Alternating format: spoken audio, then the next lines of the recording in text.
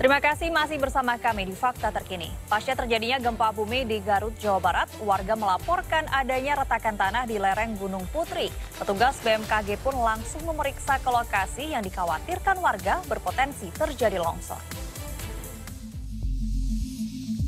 Lokasi inilah yang menjadi pusat perhatian Badan Meteorologi, Klimatologi, dan Geofisika pasca gempa di Garut, Jawa Barat.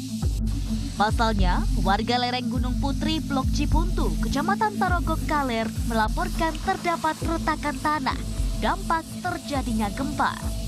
Pengecekan oleh Kepala BMKG Pusat dan tim dimulai dengan melihat kontur gunung dari kawasan pemukiman. Posisi lereng gunung yang sangat curam ini berada langsung di atas pemukiman padat penduduk. Petugas lalu menyusuri lereng Gunung Putri dan menemukan retakan tanah yang masih terbuka Sebagian besar retakan sudah tertutup saat hujan turun. Namun tetap saja warga diimbau untuk waspada karena retakan tanah atau bebatuan yang tertutup dikhawatirkan hanya pada bagian permukaannya saja. Sedangkan bagian dalam masih alami retakan. Untuk memastikan pasca gempa bumi, apakah lereng-lereng tanah atau batuan yang ada di sekitar permukiman mengalami retak-retak. Karena dikhawatirkan kalau retakan itu berkembang terus dan sebentar lagi turun hujan, dikhawatirkan akan terjadi longsor atau bencana susulan setelah gempa bumi. Meski belum memutuskan secara penuh keberadaan retakan tanah dan bebatuan, namun pihak BMKG meminta pemerintah setempat tetap melakukan mitigasi bencana secara maksimal. Dikhawatirkan jika turun hujan dengan intensitas sedang dan tinggi atau bencana susulan gempa bumi akan terjadi longsor. Ervan Lugina melaporkan untuk NET. Dan untuk mengetahui informasi terkini di Garut, Jawa Barat, kami akan terhubung dengan Adrian Ditya. Bagaimana kondisi di sana pasca gempa, Adrian? Ya, Tasya dan juga Good People, saat ini saya berada di RW 10 Desa uh, Sukamaju, Kampung Babakan Kadu, Kabupaten Garut, Jawa Barat. Dan seperti terlihat di layar kaca Anda ini, uh, Koramil 1114 dari Cilawu, uh, Kecamatan Cilawu dan juga Polsek Cilawu, serta perangkat desa dari Desa Sukamaju ini tengah melakukan peninjauan dan juga pembersihan lokasi terdampak gempa. Ini saat ini saya berada di uh, rumah dari Ibu Sumarni yang uh, memang ada di desa uh, Sukamaju ini dan terdampak. Ini ada dinding yang ambrol seperti terlihat di layar kaca Anda. Dan untuk mengetahui lebih lengkapnya, saya sudah terhubung dengan Ibu Sumarni. Ibu, uh, Bu, mungkin boleh diceritakan bagaimana, eh, boleh ke sini sedikit, Bu.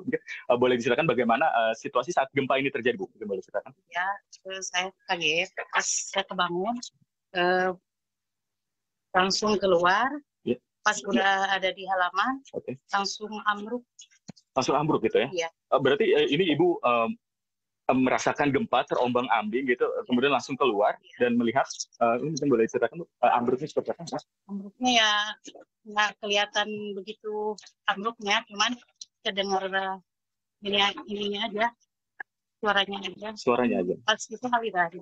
Oke. Okay. Uh, ini saat ini uh, lokasi saat ini ditutup dengan terpal. Ini kenapa kenapa ditutup dengan terpal? Apa yang ya, ada hujan. Ya terus bocor ke dalam gitu. Oke, okay. uh, eh, dampak seperti apa yang yang yang yang terjadi di uh, rumah Ibu Sumarna itu? Kerugian hmm. seperti apa sih? Mungkin boleh ceritakan. Kerugiannya, ya. ya ini aja itu uh, amruk. Saya uh, di dalam kan bocor, makanya pakai itu dulu pakai terpal dulu. Lagi menunggu barangkali ada dari pemerintah dan berapa berapa kerugian yang uh, ditaksir kerugian? Ya, kira-kira 15 15 juta. 15 juta itu ya. Iya. Baik, Ibu Sumani mungkin ada harapan yang ingin disampaikan? Harapannya saya minta ke pemerintah setempat uh, buat minta tolong bantuannya. Ya. Itu aja. Oke, baik. Terima kasih Ibu Sumani.